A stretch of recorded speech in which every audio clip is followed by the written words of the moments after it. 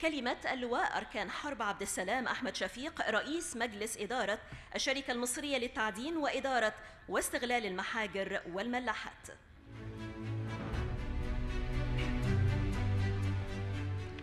بسم الله الرحمن الرحيم. السيد الرئيس عبد الفتاح السيسي رئيس الجمهورية القائد الأعلى للقوات المسلحة الحضور الكريم. بأسمى معاني الإعزاز وبأغلى آيات التقدير يطيب لي أن أرحب بسيادتكم في هذا اليوم العظيم الذي يشهد ميلاد صرح صناعي جديد وهو مجمع مصانع إنتاج الكوارتز الذي يأتي امتدادا للمشروعات التنموية العملاقة التي يتم تنفيذها ضمن خطة خطة التنمية الشاملة للدولة تعظيما للقيمة المضافة للثروات التعدينية. سيادة الرئيس، إن ما تحقق على أرض مصرنا الغالية خلال السنوات القليلة الماضية من نهضة تنموية شاملة كان له أكبر الأثر في إعطائنا دفعة قوية نحو بلوغ أهدافنا التي نصبو إليها.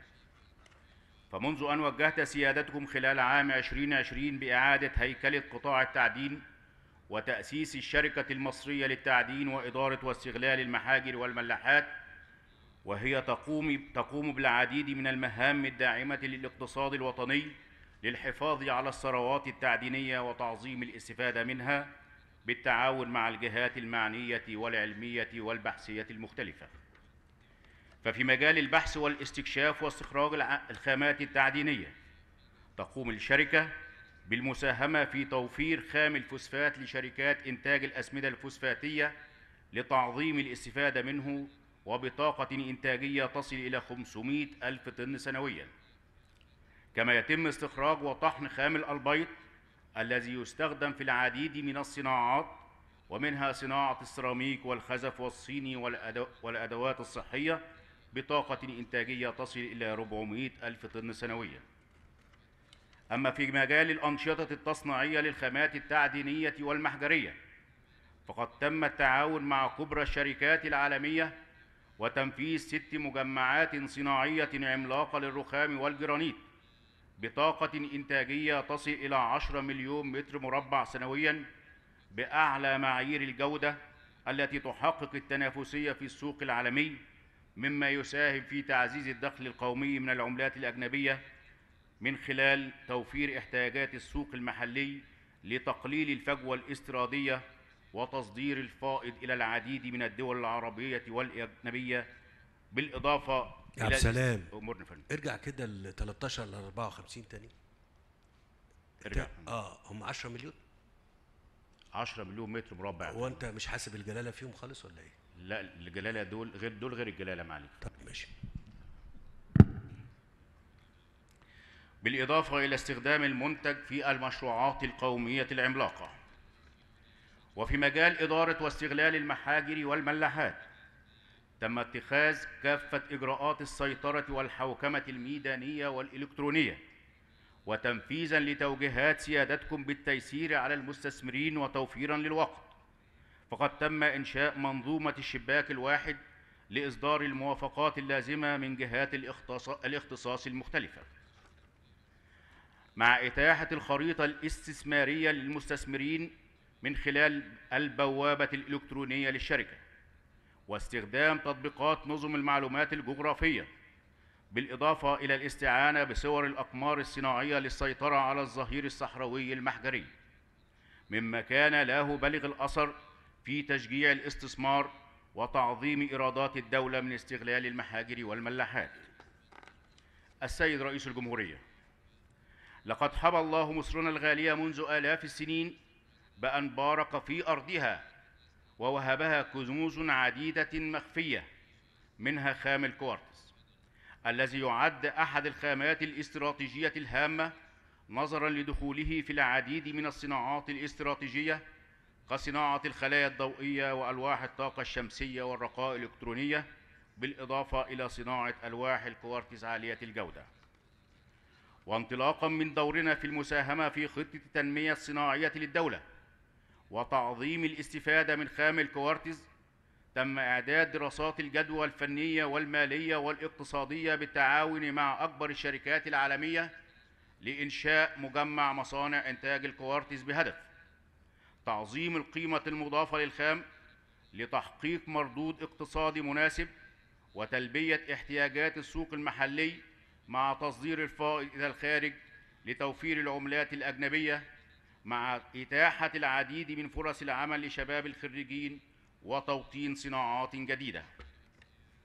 سيادة الرئيس بكل الفخر والاعتزاز أعلن لسيادتكم أن هذا المشروع هو الأول من نوعه في جمهورية مصر العربية والدول العربية والأفريقية من حيث تكامل العملية الإنتاجية بجميع مراحلها بدءا من استخراج الخام من المنجم حتى الوصول لإنتاج ألواح الكوارتز التي تتميز بكونها مضادة للتلوث البكتيري والفيروسي والميكروبات مقاومتها للأشعة فوق البنفسجية والتفاعلات الكيميائية والحريق تحملها للضغوط الميكانيكية مما مما يتيح استخدامها في العديد من المجالات الصناعية والطبية والفندقية والمنزلية. ويتكون المشروع من المنجم وعدد خمس مصانع. يتواجد المنجم بمنطقة مروة السويقات بمدينة مرسى علم ويقدر حجم الاحتياطي بثلاثة ونص مليون طن. مصنع التكسير الأولي بمنطقة المنجم بمدينة مرسى علم وبطاقة إنتاجية 140 ألف طن سنويا. ويتم استكمال المراحل التصنيعية الأخرى من خلال أربعة مصانع بمنطقة العين السخنة تم إنشاؤها على مساحة 300 ألف متر مربع. مصنع التكسير الرئيسي ويتم به تكسير الخام إلى حبيبات أقل حجما مع تنفيذ عمليات الفصل الضوئي والمغناطيسي وإزالة الشوائب للوصول إلى المواصفات القياسية العالمية. اثنين مصنع طحن لإنتاج حبيبات بالغة الدقة وبطاقة 140 ألف طن سنويا. مصنع إنتاج ألواح الكوارتز بطاقة 438 ألف متر مربع سنويا. ولقد تم تنفيذ المشروع بالتعاون مع كبرى الشركات الوطنية والعالمية وبالاستعانة بالمكاتب العلمية والاستشارية المتخصصة. ففي مجال الإنشاءات تم تنفيذ أعمال حفر وخرسانات بحجم أعمال 300 ألف متر مكعب وأعمال تركيبات معدنية 4000 طن بالإضافة إلى أعمال الطرق وتجهيز الموقع العام وشبكات الكهرباء والمياه والصرف الصحي. وذلك باشتراك عدد 5200 مهندس وفني وعامل بإجمالي 2.5 مليون ساعة عمل أثناء المراحل التنفيذية للمشروع. وفي مجال المعدات وخطوط الإنتاج فقد تم توريدها وتركيبها بواسطة كبرى الشركات الإيطالية العاملة في هذا المجال. سيادة الرئيس بناء على توجيهات سيادتكم تم اتباع أحدث النظم العلمية والتكنولوجية في كافة المجالات أثناء تنفيذ المشروع. ففي مجال الميكنة تم ربط جميع خطوط الإنتاج بشبكة المعلومات الدولية بما يضمن استمرار تحديث التكنولوجيا واستخدام منظومة ال ERP لإدارة العملية الإنتاجية بالمجمع.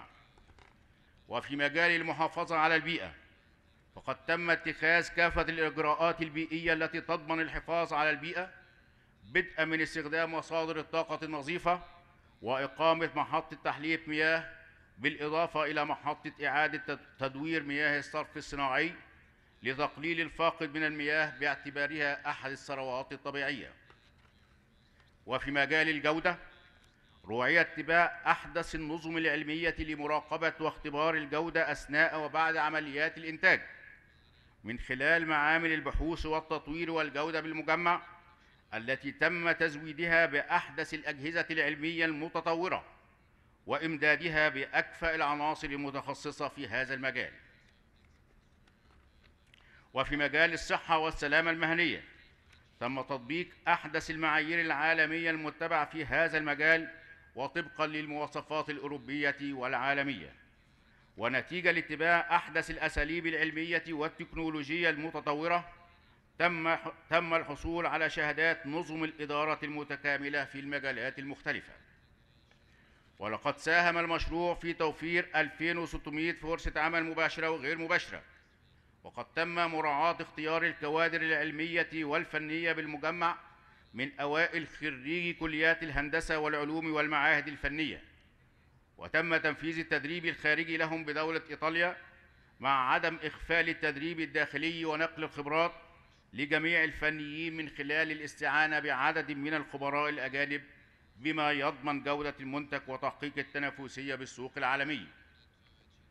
سيادة الرئيس، تنفيذا لتوجيهات سيادتكم بتعظيم الاستفادة من الخامات التعدينية وعدم تصديرها كمادة خام، واستكمالا للمساهمة في خطط التنمية الشاملة لشبه جزيرة سيناء، فإنه يتم الآن إعداد الدراسات اللازمة وتنفيذ أعمال البحث والاستكشاف لتعظيم الاستفادة من منجم خام النحاس المتواجد بجنوب سيناء بالتعاون مع إحدى الشركات الإنجليزية المتخصصة لتحديد أنسب أسلوب لتعظيم القيمة المضافة من الخام.